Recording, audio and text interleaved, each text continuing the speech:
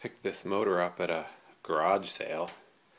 Really a before garage sale for friends and family.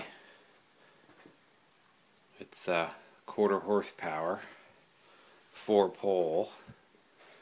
I had to actually take it apart to verify that it was split phase. It almost sounds like a repulsion start motor when it uh, is thrown across the line. Very difficult to make out that nameplate. What uh, HG brand, as near as I can tell. 110 volt only, actual 110, not 115. And uh, when I had it apart, as I kind of suspected, not only are the two leads right here going into the motor off of these terminals, but there's leads connected directly to the terminals in the back.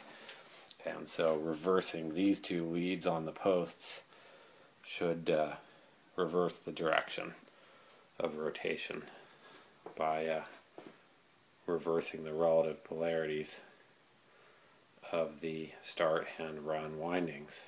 Came with this pretty cool base too that uh, the motor sits in. It's got these thumb screws here that lets you really tighten it down and adjust it, I guess. It's got one for adjusting belt tension here. It's kind of an interesting looking motor, big heavy castings, kind of cool grill work on both ends. Now let's see. Uh, hear it start. It sounds pretty nice. Hit the switch here. It's not too bad. That's a split phase motor I can live with.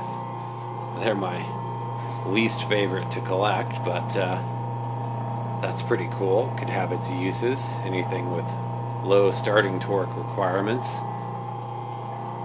It's kind of got an unusual centrifugal switch design inside of it but uh, it's kind of nice when it's running. You can tell that nothing touches.